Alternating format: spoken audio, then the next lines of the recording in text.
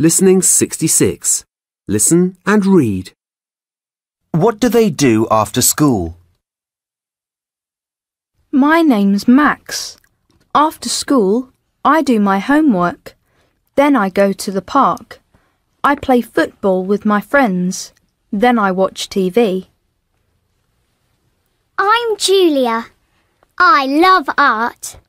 After school, I draw and paint pictures. Then I write stories. I put the stories and pictures on my bedroom wall.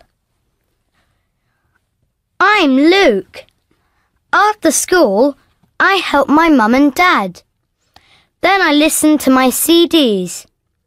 I sing the songs. I really like music. My name's Sarah. I like sport. I go swimming every Monday. I play tennis with my brother every Tuesday. And every Thursday I skate in the park with my sister.